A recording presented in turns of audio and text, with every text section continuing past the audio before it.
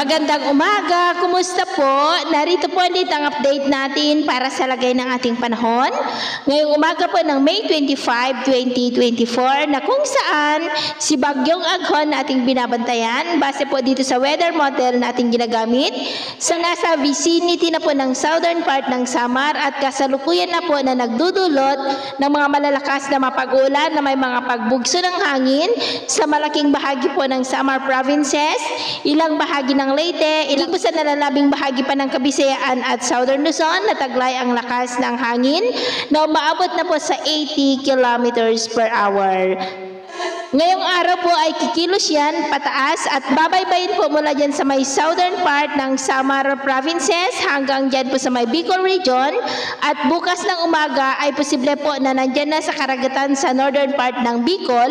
At kikilos na po yan pa north, northeastward, paliko, papalayo na po sa ating kalupaan. At posibleng sa Martes ng gabi ay tuluyan na po yan na makakalabas sa ating area of responsibility. At next week at next week rin po kasabay ng paglayo ng bagyong si Aghon ay ang unti-unti naman po na paghatak nito ng hanging habagat at posibleng ideklara na next week ang simula ng habagat season o yung rainy season po. At sa lagay ng ating panahon, daring araw ay maayos naman ang panahon sa malaking bahagi ng ating bansa, lalo na po dito sa Northern Luzon at Mindanao. Pero dahil kay bagyong Aghon ay may mga isolated with at times heavy rain sa ilang bahagi ng Southern Luzon, Visayas at ilang bahagi po ng Caraga. At posibleng anytime ay itaas na ang signal number 2 dyan po sa may Samar provinces at ilang bahagi ng Leyte. Sa ngayon ay nakataas po ang tropical cyclone wind signal number 1 dito po sa ilang bahagi ng Luzon, lalo sa may southern part, particular na po sa may Quezon, sa may Calawag, Ginayangan, Lopez, Buenavista, Katanawan, Mulanay, San Narciso, San Francisco, San Andres, Tagkawayan, maging po sa may Sorsogon, Albay, Catanduanes, Camarines Sur, Camarines Norte, Masbate, kasama na po ang Tikaw Island at Burias Island.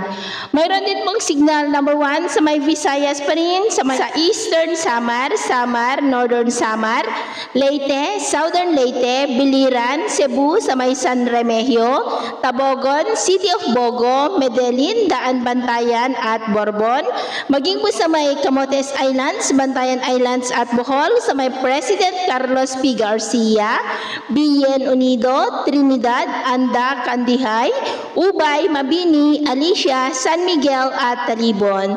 At dahil nga sa pag-angat ng bagyong si Aghon ay mayroon pa rin naman signal number 1 sa may Mindanao, lalo na po dyan sa may Dinagat Island, Surigao del Norte, kasama na po ang Siargao, Bukas Grande Island, Surigao del Sur at Agusan del Sur.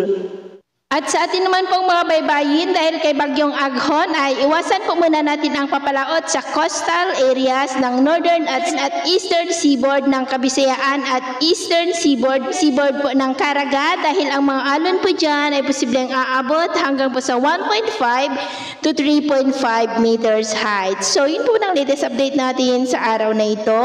At ako po muli si James na nagsasabing sa kahit na pagsubok po na darating sa ating buhay, Huwag na huwag po tayong mawawalan ng pag-asa. Thank you and God bless.